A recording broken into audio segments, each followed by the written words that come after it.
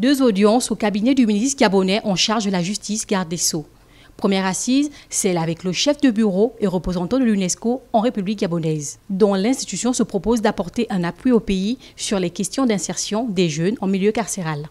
On parle de la construction d'un espace dédié à la formation en informatique. Nous avons abordé un certain nombre de sujets qui concernent la coopération entre l'UNESCO et ce ministère.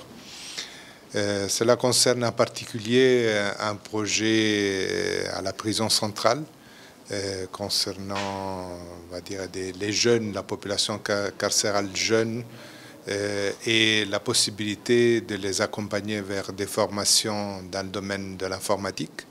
S'en est suivi l'audience accordée à l'ambassadeur d'Espagne au Gabon. Avec ce dernier, les questions de coopération en matière judiciaire étaient au centre des échanges. Nous avons parlé de la, coopération en matière de justice entre l'Espagne et, le Gabon.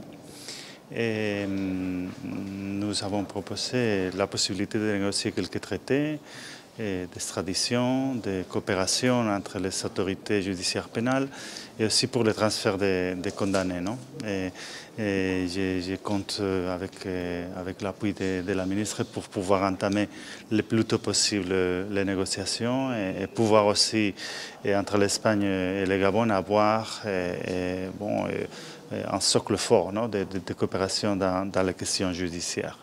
Erline Antonella Ndembe, la ministre gabonaise de la Justice, s'est dite satisfaite de ces échanges.